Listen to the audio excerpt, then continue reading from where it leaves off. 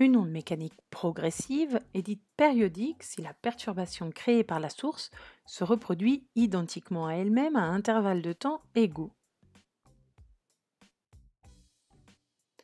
Voici par exemple une animation qui permet de montrer l'installation d'une onde périodique progressive long d'une corde. L'excitation est sinusoïdale et s'installe sur la corde une onde progressive périodique.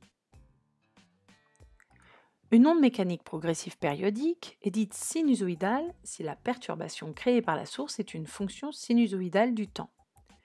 Une telle onde est une onde progressive périodique. Voici la forme de l'élongation au cours du temps.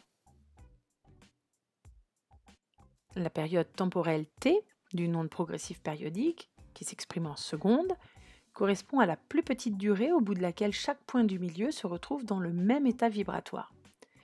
Ici, sur la courbe, on peut donc visualiser T entre par exemple deux maximums, mais on pourrait très bien mesurer T entre deux minimums.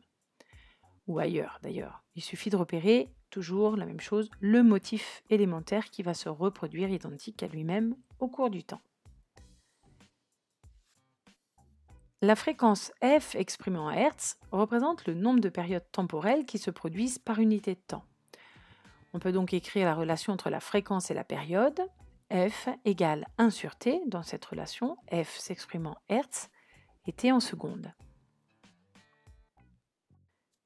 La période spatiale d'une onde mécanique progressive périodique est appelée la longueur d'onde et correspond à la plus petite distance qui sépare deux points du milieu présentant le même état vibratoire. Alors si on représente Y en fonction de X, on peut imaginer que c'est une photo de l'onde à un instant donné. Ici, deux points qui sont par exemple avec une élongation maximum sont séparés de la longueur d'onde lambda. On pourrait repérer cette longueur d'onde entre deux points qui sont en train de vibrer avec une élongation minimum, par exemple.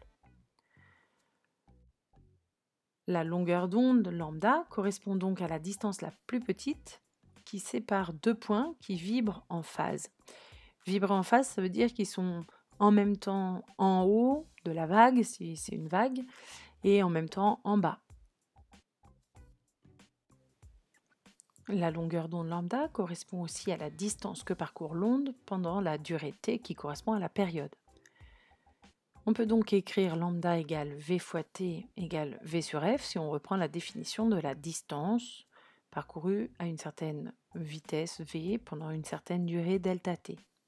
Dans cette relation, la longueur d'onde s'exprime en mètres, la célérité en mètres par seconde, t la période en secondes, et lorsqu'on écrit l'autre relation lambda égale v sur f en remplaçant t par 1 sur f, f s'exprime en hertz.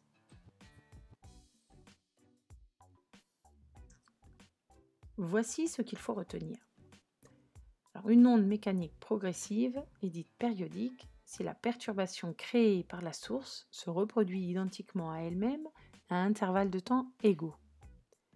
Une onde mécanique progressive périodique est dite sinusoïdale si la perturbation créée par la source est une fonction sinusoïdale du temps. La période temporelle t d'une onde progressive périodique, exprimée en secondes, correspond à la plus petite durée au bout de laquelle chaque point du milieu se retrouve dans le même état vibratoire.